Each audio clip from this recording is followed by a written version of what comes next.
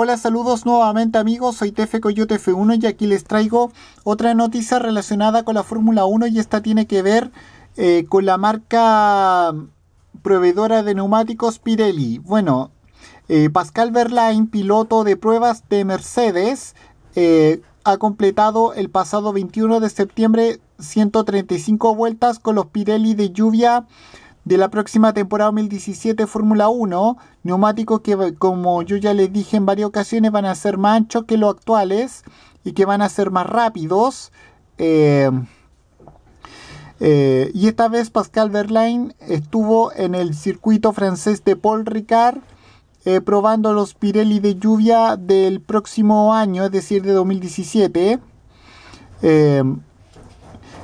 Y esto, y esto fue después de más de 10 días eh, sin pruebas.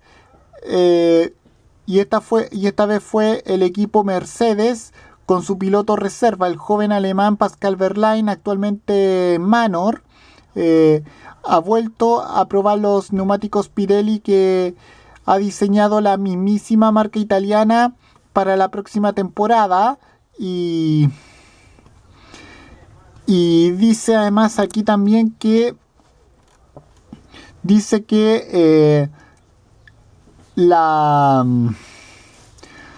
el próximo 29 de noviembre termina la, el calendario de pruebas de los neumáticos Pirelli el próximo año y será con eh, y será con los equipos Ferrari, Mercedes y Red Bull con una prueba de todos los compuestos, o sea, de todos los compuestos de los neumáticos para pista seca en el circuito de Abu Dhabi.